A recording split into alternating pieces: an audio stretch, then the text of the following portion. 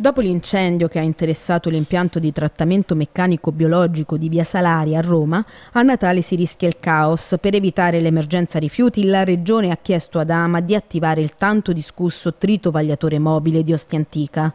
L'impianto può lavorare fino a 150 tonnellate di immondizia al giorno. Anche se per il momento si tratta solamente di un'ipotesi, ha già suscitato dubbi e perplessità.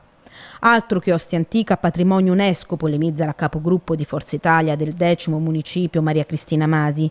Sulla via Ostiense, già fortemente congestionata dal traffico, arriveranno camion di rifiuti da smaltire. Avevamo contestato la scelta strategica di porre un impianto a pochi passi da una zona di altissimo pregio storico e artistico e la Giunta si era impegnata ad utilizzarlo solo in periodi brevi di emergenza relativa al territorio.